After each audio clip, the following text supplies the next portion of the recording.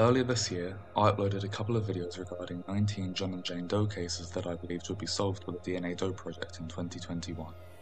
Case number 8 was Marion County John Doe, a man who was found murdered in Ohio in 1989 and whose homicide remains unsolved to this day.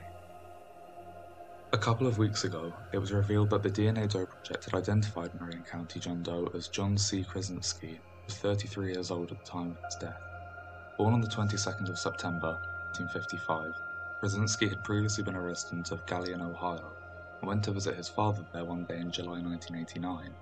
Upon leaving his father's house, he was never seen again, and his family remained unaware of what had happened to him for over 30 years. Unbeknownst to them, the body of a man had been found in a creek later that month, just 15 or so miles southwest of Galion.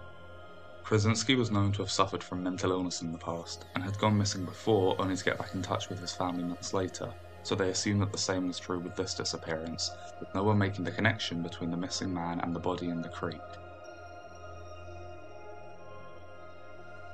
Meanwhile, investigators nicknamed the unidentified man Luther, as they set out to try and identify the remains. But as the decades passed, Luther remained nameless, leading detectives to turn to the DNA Doe project in 2019 in an attempt to finally identify the mystery man.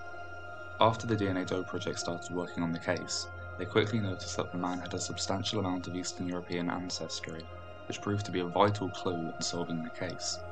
This lead allowed them to narrow in John Krasinski's family, before leading them to the man himself, who, despite having never been formally reported missing, seemed to disappear from public records after 1989. 32 years after John's disappearance, his family finally know what happened to their loved one, this would not have been possible without people uploading their DNA to GEDmatch and Family Tree DNA, as without John's relatives uploading their DNA to these databases, he would almost definitely have remained a Doe. So if you've taken a DNA test, then please consider uploading your DNA data to GEDmatch and Family Tree DNA and opt into law enforcement matching. There are links in the description which will walk you through the process of doing this, and if you have any more questions, then feel free to ask them in the comments and I'll answer them as well as I can. If you want to find out more about the other and Jane Does I believe be identified this year, there are links in the description for those videos too. And if you found this video interesting, then feel free to like, subscribe, and watch this space.